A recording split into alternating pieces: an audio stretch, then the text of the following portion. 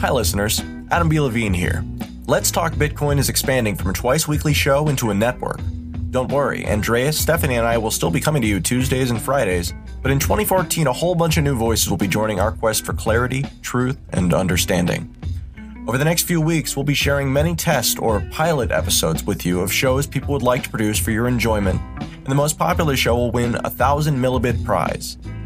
To vote for a particular show you like, visit that show's special page and send a 0.1 millibit tip to the address indicated in big bold letters.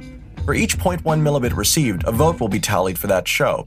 When the contest is over, all tips will be dispersed evenly to all applicants who submitted shows. This is to prevent someone from voting themselves the prize.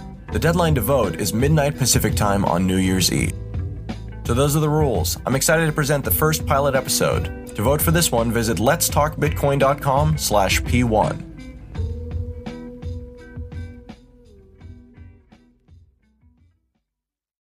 I just want to address um, uh, it is a little strange that uh, Bitcoin, we don't know who the creator is. And so um, that often conjures up the idea that there's some risk here that we have not. You don't think it was Al Gore, do you? you know, he, he's never denied it. Hi, welcome to episode 4 of Peace Propaganda, a weekly show about living peacefully and the people who try to prevent it. I'm the host, Adam Alpo. This week is a special episode. One of my favorite podcasts, Let's Talk Bitcoin, has issued an open call for shows about cryptocurrencies. So this week's episode is just that all about cryptocurrencies. I want to talk about how the digital economy can help people escape or bypass oppressive regimes. Related to that, I'll cover the ways cryptocurrencies can help lift people out of poverty. But first, exactly what kinds of laws are oppressive? Today is December 7th, 2013. Let's get started.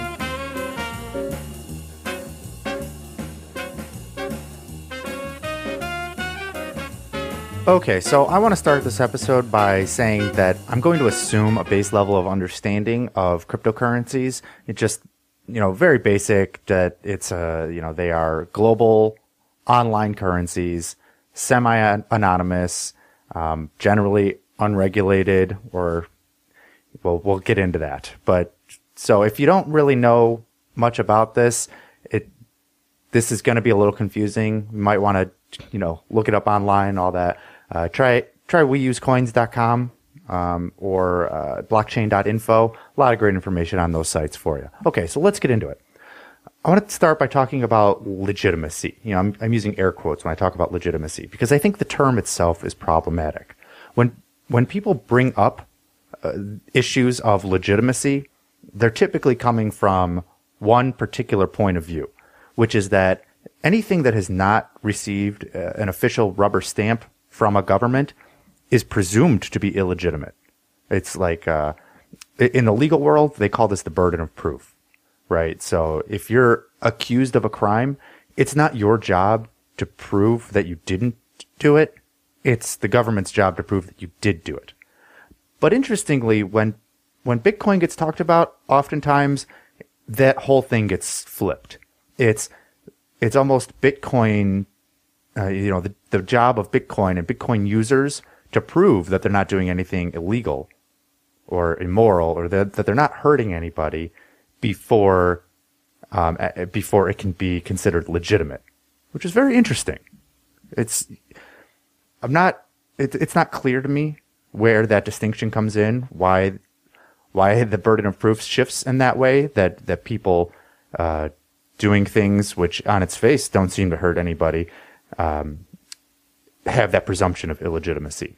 So okay, but it doesn't, of course, it doesn't come out of nowhere. Uh, there are, there of course was Armory, which was the um, online marketplace where people could buy weapons. Um, it's supposedly contract killing, um, which complicates matters. Uh, I agree. That said, as uh, Mythili Raman, the Attorney General with the U.S. Department of Justice, said, uh, she said, "quote cash is still probably the best medium for laundering money. Which which is true, right? I mean, and not only not only laundering money, but actually doing things that that could hurt people. So if you're going to hire a contract killer, which I I uh, want to go on record as please do not. But if you're going to, hypothetically, uh, obviously cash is the best way. I mean, U.S. dollars. It's a well-known fact that U.S. dollars are the global reserve currency for illicit activities, not Bitcoin. Bitcoin's a tiny fraction, and so I want to play. I want to play a short clip from this uh, this recent hearing, the the Senate hearing on Bitcoin. Um, it, it's uh, it's actually Mythili Raman, this Attorney General, and she's talking about uh, what she sees as the challenges of Bitcoin, and she she sort of brings up the common uh, objections, which and then I want to I want I want to try to parse it out because I think if you listen, she doesn't actually she never actually mentions anything that that hurts anybody, right? She, it's all these, it's all this twisted burden of proof that well, they it might do this, so we we have to jump on it. It might, you know, th- two or three chains of logic down the line might hurt somebody, so we have to take action. So here's the clip. As an initial matter, I should note that virtual currency systems, so long as they comply with applicable anti money laundering and money transmission laws and regulations, are not inherently illegal. And they can be appealing to consumers because they can provide cheap, efficient, and convenient means to transfer currency. Most significantly, we have seen evidence that criminals are drawn to virtual currencies for two main reasons. First, their perception that virtual currencies offer greater anonymity than traditional financial services. And second, the irreversibility of many virtual currency transactions. These features can significantly complicate our ability to utilize one of the most basic techniques we use in criminal investigations following the money.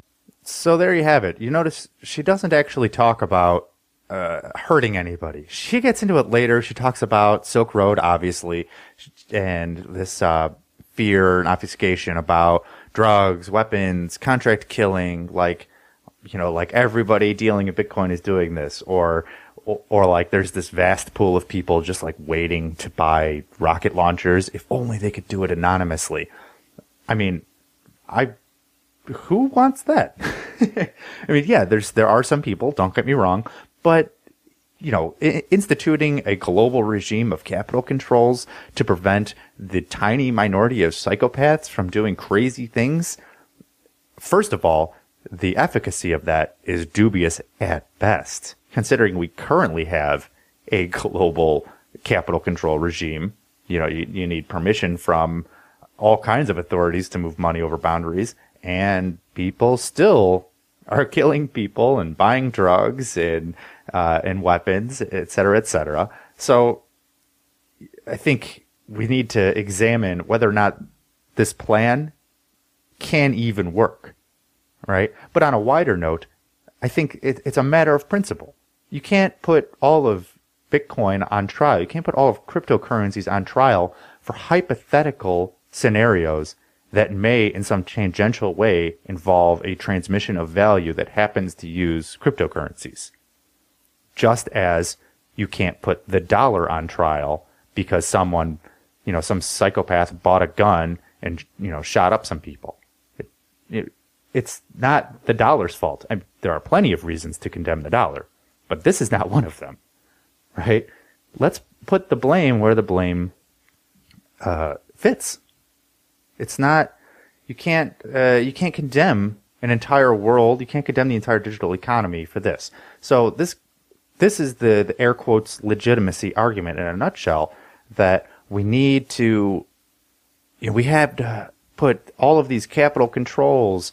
You know, uh, and and clamp down the economy for these perceived harms, these hypothetical harms that are only tangentially related to cryptocurrency in the first place. You're striking at the branch, not the root, right? Is the purpose of government to pass legislation to ease the wrongly placed fears of the ignorant? Is that why we have laws? You know, just to to make people feel safe at night, even if the laws actually don't make people any safer, and in fact are hamstringing uh, the economy. That's a tough case to make and that's that's the kind of um, the the weeds and the swamp that you get into when you start making up these hypothetical situations and saying, well, we need to we need to control the entire global economy to prevent the psychopaths or you know people who want to hurt other people. Um, and just briefly, the idea that money laundering is inherently a crime is the same same thing, right? You can't. The assumption there is that people who want to transmit money uh, anonymously are necessarily doing it for nefarious purposes, and that, to me, is against the presumption of privacy, the presumption of freedom that I think most people think they enjoy, but in fact do not. And that's the, that's the door that Bitcoin and cryptocurrencies generally open up. It's, I don't want that to close. I'll be right back. Daddy, I need money. Give it to you, honey. Daddy, I need money now. I want to take this opportunity to tell you about Sean's Outpost, a homeless outreach program which has provided over 20,000 meals to the homeless in Northwest Florida. They're also funded entirely through Bitcoin donations. They are proving that we can address the problems in our community without the state, without its predatory welfare programs, and without its Ponzi money. Recently, Sean's Outpost launched its newest, boldest initiative, Satoshi Forest, a nine acre homeless sanctuary where they are teaching permaculture, aquaponics, and self sufficiency to the homeless residents. No one sticks a gun in anyone's face and makes them donate to Sean's Outpost, and yet, every day, people do. Please consider donating to this inspiring cause. Visit seansoutpost.com. That's S E A N S outpost.com.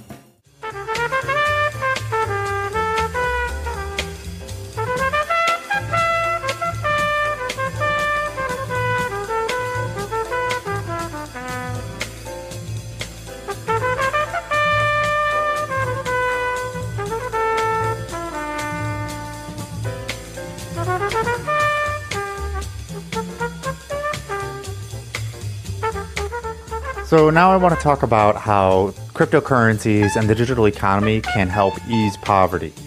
Um, so obviously, Sean's Outpost, as you just heard, does amazing work in Florida. Uh, I love it, but I want to put to you a proposition that perhaps the developed Western world is not where you're going to see uh, the most mm, human aid. Uh, it's not it's not there's not as much of a market for it, I don't think, because there's just so much poverty elsewhere. You know, the low the low hanging fruit, so to speak, uh, is is elsewhere. So you, you look at somewhere like sub-Saharan Africa. There are many migrant workers. These are people who who leave their their home because you know they can't find work, uh, they can't feed their family, so they go to a different country they work, you know, typically as a, a migrant farmer, and then they they send money back, you know, every every couple weeks or every month, so that their family back home can eat. What a lot of people don't know is that this is actually a really expensive proposition. I mean, beyond just getting there and back, uh, anyone who's used Western Union knows that you're looking at about 10% domestically.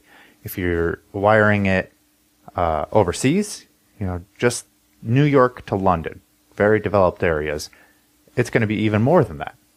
Uh, you could do it cheaper if you have uh, linked bank accounts and all of this stuff. There are there are less expensive ways of doing it, but these options are not available in many countries. Many countries lack the financial infrastructure necessary to facilitate these things. You know, for a variety of reasons. And so what the cryptocurrency digital economy provides is a way for th- these remittances to be paid, uh, you know, lightning fast without you know burdensome and uh, cost prohibitive fees. So I want to play a short clip actually about a revolutionary new payment system uh, which is being been rolled out in sub-Saharan Africa for the past few years called M-Pesa. Now this is not a cryptocurrency to be clear, they're they're transferring money uh, within a bank within between bank accounts in fiat currency. But it illustrates an important point, which is that there is a very real need and desire for remittances to be paid cheaply and quickly. This is not a small market. This is a, this is a huge, big deal in Africa right now. This M-Pesa and the whole mobile payment infrastructure that's existing. It- pe- some people have a wrong-headed view uh, that uh, people in Africa, you know, are, I don't know what they think. I won't get into I won't get into what they think. But the fact is, many people in Africa do have cell phones. You know, maybe not cutting edge smartphones, but they have cell phones capable of of at least text messaging, which is all you need for cryptocurrency, and it's all you need for M-Pesa. So this is a short interview uh, that a gentleman did with a store owner who who runs an M-Pesa storefront, and in the interview he talks about why people are driven to M-Pesa. He has a thick accent. There's a bit of a bit of background noise. But I think it's really valuable because he talks about the long lines at banks and he talks about the high fees. I won't give it away. So let's go right into it. Here it is. But um, do, you, do you think M-Pesa and, and an application like that for the telephone is just is just the start for places like Nairobi and Kenya? Yeah, it's actually a good client base to start with because right now, I mean, sending cash is so easy for people. I'm in Nairobi right now. If my grandma needs some cash back at the countryside, that's like 300 or so kilometers away. It's all about using my phone and it's like so fast. Yeah, it's so easy and efficient for everyone. So what did people do before M-Pesa was around? Oh, before M-Pesa came about, it was just the normal long queues at the banks, or you just have to dig into your pocket. You, you can't trust the banks nowadays. So that's what they say here. But I mean, and if you had to send money to some, you know, somebody in the country, Yeah. I mean, uh, how would you go about doing that? I'd go about by maybe going to the post office. They have their services, but then again, it was so costly. Saying, let's say, a thousand bob would cost me 200 bob extra. And that's, I mean, that's not so fair. Yeah. But uh, unlike M-Pesa, a thousand bob, I mean, I'm going to spend like, let's say, 55 bob. It's quite efficient for me. So he was talking about his local currency there. Um, it's not really important, the exact numbers. The, gist of it was there are a lot of hurdles. There are a lot of hurdles, and not just in Africa, but, but around the developing world. Uh, you know, long lines at banks, and they don't, they don't trust the banks, you know, not, and not in a way that, that, uh, Europeans and Americans are used to not trusting the banks like, you know, they're buying the government, but not trusting the banks like they may just run off with your money you know, uh, that's not something that typically most people have to worry about on a day to day basis in a developed nation. So you can see why there's such a need for this. You know, standing in line for, you know, to get to your, you know, long lines. In another part in the interview, he talks about, it, you know, it could take a couple hours just to get your money out of the bank. You know, who has time for that? You know, especially if you're poor and struggling, you know, it's not typically characterized by um, by being a layabout. You know, when you're a migrant farmer, not really the case. They need to be moving. So this is where cryptocurrency comes in, because M-Pesa is centralized, right? It's, it's it is it's a company. It's uh it's a program that runs. Uh, you know, it's sort of in the background on people's phones through text messaging. And so all of these are points of failure. These are all points of failure for the payment system that can be exploited in, in precisely the same ways that banks and governments have colluded to create the system which now exists. So this is where cryptocurrencies come in. Because of their decentralized nature, they're able to get around these points of failure, right? So if you, I'm sure you, you picked up on all of the things that he was saying. You know, it's, it's fast. The fees are low. You can send it anywhere. This is where cryptocurrencies excel. Doesn't have to be Bitcoin. It could be anything. Any cryptocurrency would, would do exactly what M-Pesa does a thousand times better for a fraction of the cost. And there would be no points of failure for, for governments or banks or, you know, any, any ne'er-do-wells to exploit. So I think this is really an under talked about point uh, for for cryptocurrencies. And whenever I'm whenever somebody asks me about Bitcoin, you know, I I'm broadcasting out of Chicago. Um, I work in an office building. It was my, my full time job. I can't I can't talk to, to most people about well the transaction fees are low for you know all of those wire transfers that you're doing on a day to day basis. Like it doesn't really register with people. But if you can if you can explain to them, well, you know maybe you're not the target audience, and I get that. Maybe you know you you don't need to use this at a bar right now.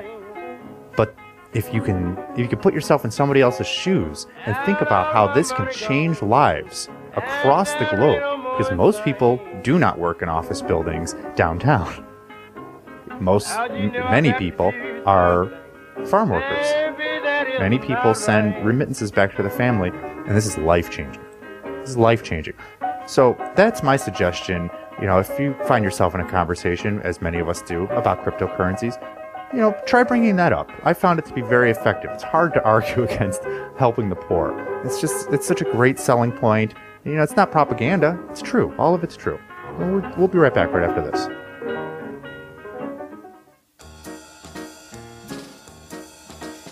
Hi, this is Adam, host of Peace Propaganda. I know that starting something new is hard, really hard, but it's important to get our message heard. That's why I want to help you promote your liberty related project. I'm offering free 45 second time spots on Peace Propaganda. That's right, free. So do you have something that you're trying to promote? Contact me, Adam Elpo, at host.peacepropaganda at gmail.com. That's host.peacepropaganda at gmail.com. You can send me your own sound clip and I'll play it, or you can send me a blurb about your project and I'll read what you wrote. Or I can talk about it in my own words. I look forward to hearing from you. Now, back to the show.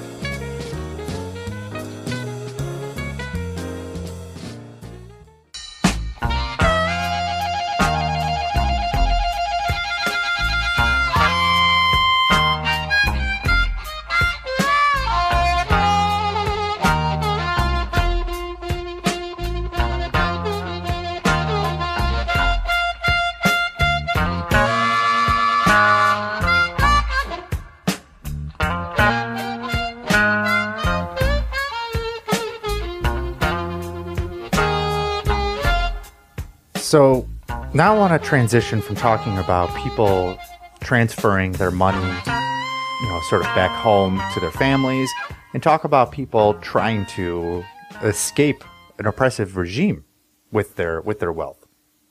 And so I'm sure you've seen in the news recently, uh, Venezuela is not doing so great. Um, the the president of Venezuela has instituted a vast array of new policies. I covered this in episode two. He uh, he started arresting store owners for charging too much for consumer electronics. Um, they've had water rationing in several cities for a few years now, which has just been a complete disaster.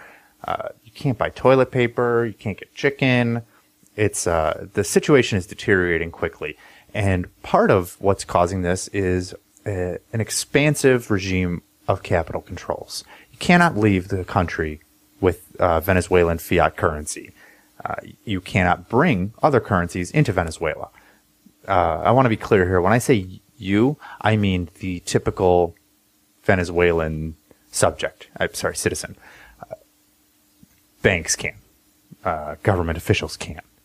Uh, if you're well connected, you can. Which, of course, you know this is the this is the typical theme of of capital controls and regulation generally. You know, regulatory capture is typically described as a as a phenomenon to be avoided. Well, it's not a bug; it's a feature. It's not a bug; it's a feature. It's you can't have a system where people are making the decisions on behalf of other people and then expect the decision makers to be, you know, these uh, auton- automatons of of perfect, unbiased, uh, you know, paragons of morality and ethics. It doesn't work that way, you know. And and they, you know they know this, of course. Um, and so this leads right into a, a recent Forbes article that was. Uh, he actually uses the term mea culpa. It's uh, it's uh, it was put out last month, and the author is describing how he didn't think there was a proper use for Bitcoin, but the title of the article is quote finally a proper use for Bitcoin avoiding capital controls unquote. Uh, interestingly, this sort of turns the legitimacy thing on its head that we talked about in the first segment, uh, because in the argument here that a proper use for Bitcoin is avoiding capital controls, sort of you know, that implies that Bitcoin is legitimate because of its ability to subvert government controls. How does he get away with that? Well, he's talking about not the United States government. And and interestingly, he does bring up uh, capital controls from the 70s in the UK. The author is is British, and he says, um, "quote Until 1979, in my native UK, you had to have permission from the government to take out more than 25 pounds out of the country." Unquote. And and so uh, he doesn't mention that, of course, you still need to do that. It's just with a larger amount. Um, so what he's talking about in this article is how Chinese citizens are living under uh, a regime of capital controls, um, which is not uncommon. We all live under a regime of capital controls. It's just a matter of, of how strict they are. And so uh, there are a lot of people now in, in China who are who are gaining wealth. You know, they have a culture of savings and uh, a relatively strong economy rel- relative to where they were uh, during uh, you know let a thousand flowers bloom and all that. But uh, so now people are trying to get their money out of China and finding that they cannot, can't do it. It's against the law. They will throw you in a cage.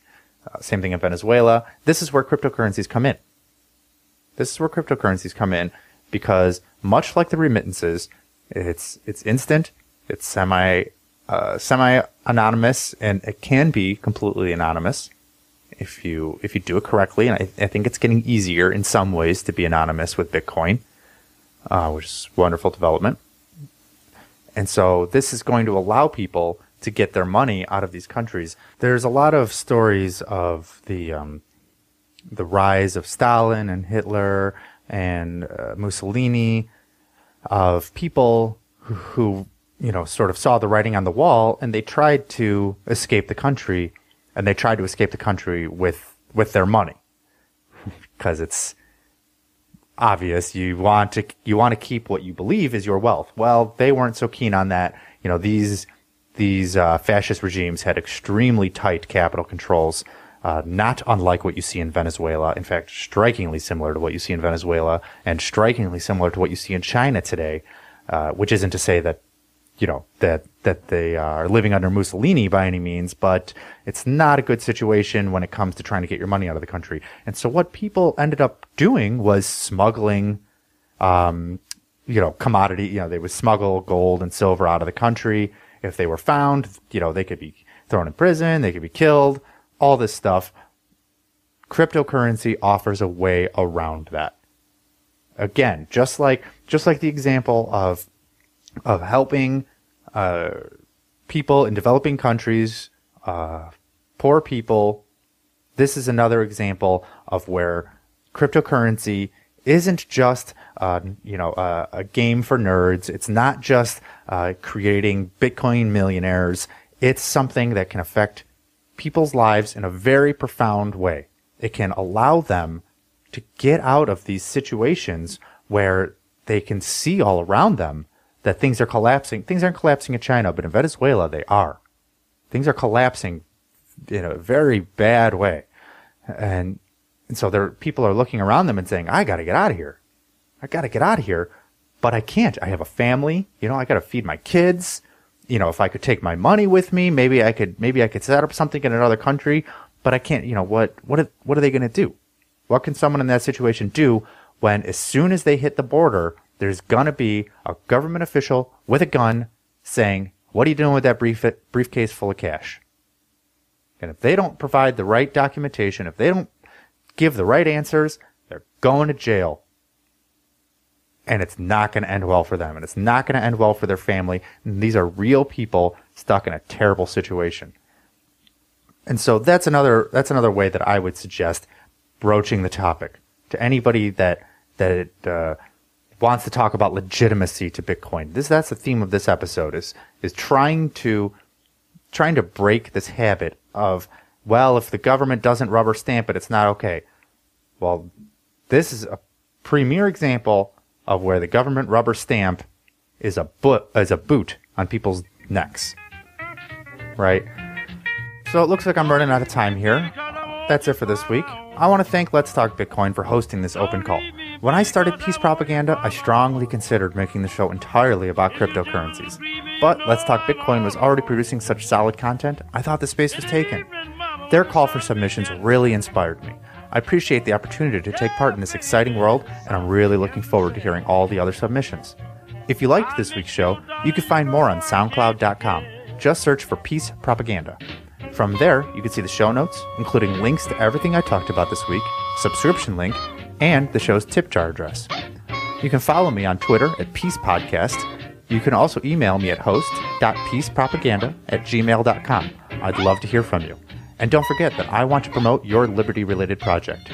This was December 7th, 2013. Have a great week. Thanks for listening. To vote for this one, visit letstalkbitcoin.com slash P1 and send 0.1 millibits to the address indicated.